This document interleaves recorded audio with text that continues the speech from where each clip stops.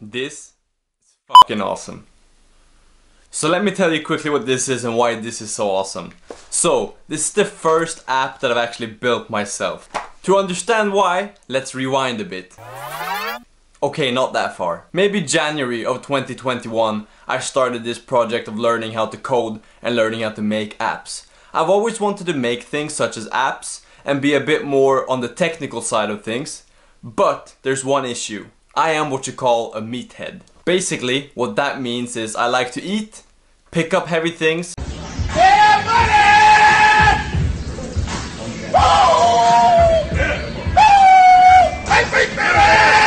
put them back down again, and eat some more. Typically speaking, my kind, the meatheads, aren't necessarily associated with the skills needed to make apps and write code, so I had a bit of an obstacle to get over before I could actually start to make my own app. So, in order to learn how to code, I did the usual. I started going down the tutorial route on YouTube. I watched probably hundreds of videos on how to make different apps and you know what kind of languages you needed to know, what skills you needed to have, what packages you needed in order to write apps. But a bit of background, I don't really know anything about coding. I have start tried to learn Python before. I've learned some SQL for my job, but I don't really know anything about coding at this point in January 2021. So what I do is I start going down the rabbit hole of tutorials on YouTube. I watch tutorial after tutorial, I build sample app after sample app, and then a month in I realize shit, I don't actually know anything. I've just been copying other people on YouTube thinking I've been building stuff. So I had to take a, I took a completely different approach. I decided I wanted to make three things that didn't necessarily have to work and I wanted to launch them before I could actually build a proper app. And it was around at this point where I realized that I wanted to document this process. And this is why. In my 22 years of life, I've done a lot of things and I've failed in most of them. For example, I tried to be a YouTuber.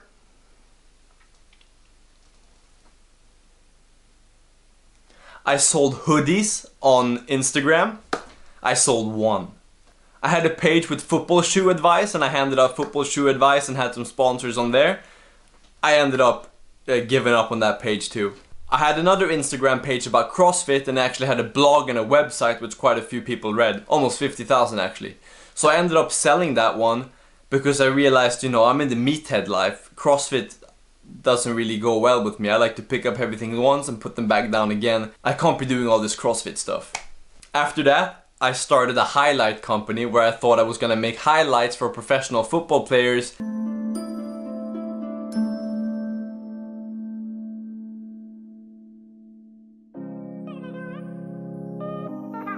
And aspiring college players in order for them to submit those to coaches to get trials and to get uh, scholarships, etc. I had quite a few clients and I made, you know, a little bit of money, nothing significant at all. I probably didn't even break even if I considered all the time I spent on it, but it was a lot of fun. After that, I started building websites for companies. So I'd, you know, put up a website and I learned WordPress, put up a website in WordPress for them. And basically I had patience, which they didn't have. And I just built a couple of websites. After that, I actually started my own social media company where I helped other companies out with their social media strategy and you know things they could do to improve their engagement etc. After that I started selling fitness plans online. I, I sold five of them I think until my discount code actually leaked on Reddit and I got like a hundred different downloads in one day where a hundred people downloaded my programs for free just because I gave one person a discount code because he said he lived in Colombia and he was poor. And that basically ended up leaking on Reddit and I think I had you know I went six months having five purchases of these plans and then over three days I had 150 downloads which was pretty mad but needless to say, after that, those plans are out there and there's no real point in, in selling them anymore. After that, my next thing was writing a full-length book, which is quite mad. You know, I don't really know what I was thinking. I'm not really a reputable author, I'm not too great at writing either, but it was a fun project. However, this brings me to the point. I have done all of these things, but I can barely remember any of them.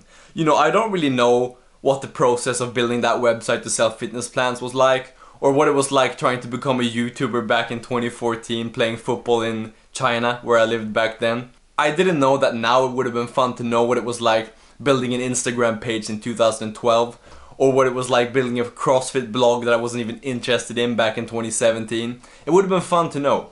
So that's why I got around to recording this process. And that's why I'm making this video now. You know, I don't even know if I'm gonna show this to anyone, but for future Herman, I think this could be quite interesting to look back at and just see this is how I started making apps. If I'm even making apps in, you know, two, four, six years as a hobby or if this is a one-time thing. I don't know. We'll see. But with that said, I'm actually sitting here with the sample app that I've built right now. Give you a sneak peek there. Pretty nice. I'm quite happy with it. I actually just submitted it to Google for approval. So I will check back in when, if it gets approval, and we'll see how it goes from there. But enjoy this montage and voiceover of me explaining how I got to building this app and some of the footage from that process. No.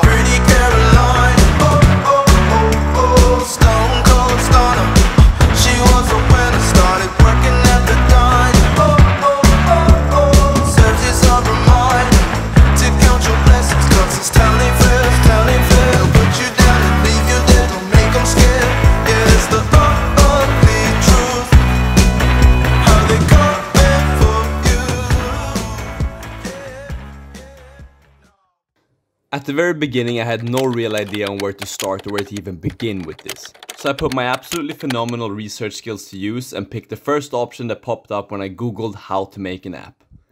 This thing called Flutter came up and it intrigued me. It promised speed, something they called hot reload. I had no clue what that meant but it sounded cool.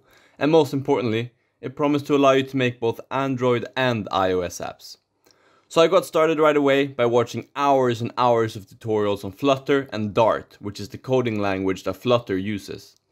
So after about a month or so of just consuming everything which I could find and put my hands on, I started making my own apps. And I went ham. I started building everything that you could possibly think of. Journal apps, country guides, podcast players, and all kinds of random shit. You see, I never really finished any of these though, I left them all at 75%. Because of this, I decided that it was time to make something for real, for real, and for real this time. You see, when I was making this app, I lived with a bunch of raging alcoholics called my family. For legal reasons, that's a joke. And on every Friday during quarantine, we had made a new cocktail in order to celebrate our healthy lifestyles. I thought it would be fun to make an app which could hold all of these cocktail ingredients, and that's how the app idea was born. I was going to make a cocktail app. I started designing the app and quickly realized that my brain and my hand did not have the same idea of what drawing meant. Drawing is right up there with the strange life skills. You can draw 10 times and still not be an artist. Cook 10 times and still not be a chef. But murder one per- Okay, we're sidetracked. Anyways, I had to learn how to use a program called Adobe XD, and after fiddling with that for a while, I managed to come up with something that someone represented a usable application. The ball was rolling. I know we're acting stupid, we're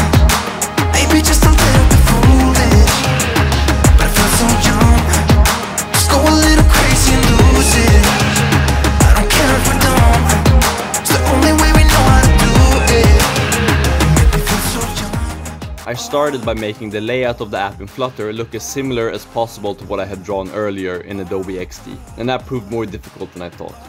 After many many hours and a couple of late nights, I had something I was quite happy with. I went on to make the logic which would display the cocktails and build out lists depending on the page you were on. This is where I encountered Patrol. I think I spent 10 hours on a single list in order to make it shuffle the cocktails in a random order, but I just couldn't figure it out. So I asked people on this nerd central of a website called Stack Overflow and I waited. But no one answered. It was as if the world had turned on me and I had been left out to die on some deserted island all alone. But then I found the issue. You see, I had put a comma all the way at the bottom of the file where there wasn't meant to be a comma, but it didn't show up in the error log of the actual file, so it went unnoticed. But after I moved this comma, everything was working as it should and the app stopped crashing when it was running. At that point, I thought, Jesus Christ, I hate this.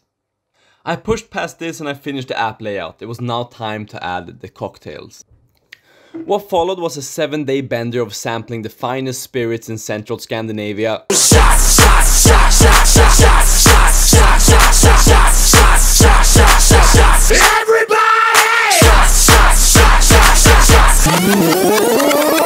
Okay, Not really. But it did take a while to add all the cocktails to the app and making sure to find the appropriate images. Here I also encountered another problem. The age-old question, what units should the measurements be in? After a few seconds of thought, it was quite glaringly obvious that one of the systems is far superior to the other, and that really there's just one place that measures things in feet, ankles, ounces, and pouches. And for some reason, that place is America!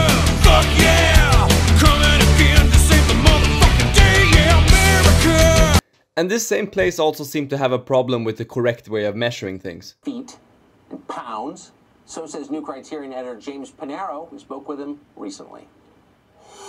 We're breaking down the Celsius scale and why America is one of the few countries not using it in this, this week's Weather Watch. Thousand milliliters, right there. I picked this one because I know what a two-liter bottle looks like. 77 degrees Fahrenheit, and we see it all the time. Our thermometers always There's like four centimeters in an inch, sort of. So if you can approximate an inch.